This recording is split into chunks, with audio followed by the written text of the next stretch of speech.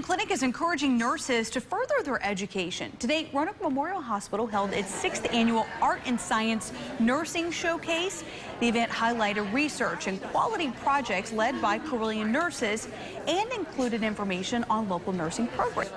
And we really want to encourage nurses to participate in their profession, to benefit patient outcomes, to continuously learn. The event was also in recognition of National Nurses Week, which runs from May the 6th through the 12th.